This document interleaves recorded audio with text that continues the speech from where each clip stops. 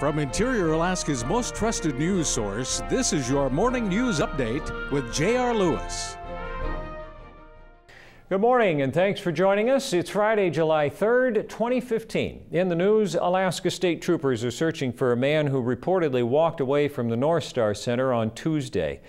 According to a trooper release, 27-year-old James Cook left the center without permission after being furloughed to the facility as part of his sentencing agreement.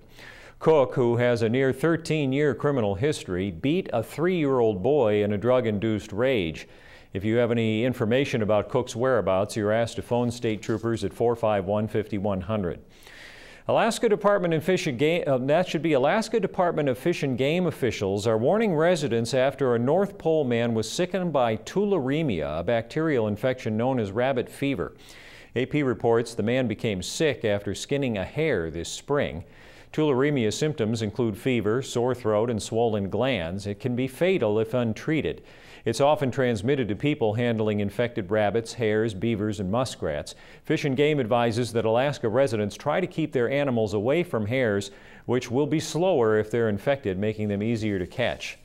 And the Ninth U.S. Circuit Court of Appeals has dismissed the appeal of a court case that struck down Alaska's ban on same-sex marriage.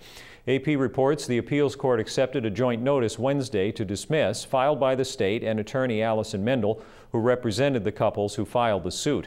A federal judge in October ruled Alaska's ban violated the U.S. Constitution.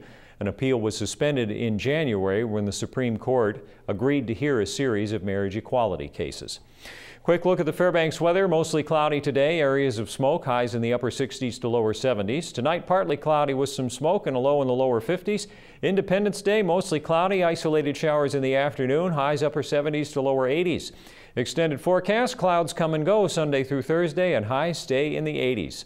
That's all we have for right now. Glad you could join us. Don't forget, sign up for breaking news text alerts. Just text the word breaking to 33733.